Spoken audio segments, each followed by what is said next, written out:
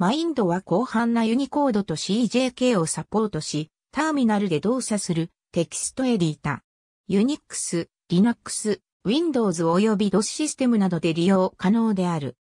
GNU パブリックライセンスで公開されており、スセリナックス、デビアン、シグウィン、フリーブスドの配布物に含まれる。 MinEd は、モードレスなテキストエディタで、マウスとメニューバーに対応している。キーボード操作は、直感的で素早いナビゲーションに最適化されており、ワードスタル風の操作にも対応している。ユニコードをフルサポートしており、結合文字や双方向テキストに対応しているのみならず、多くの文字コードへ変換することができる。また、引用符を適切に変換する機能など、ワープロソフトが持つような機能を含んでいる。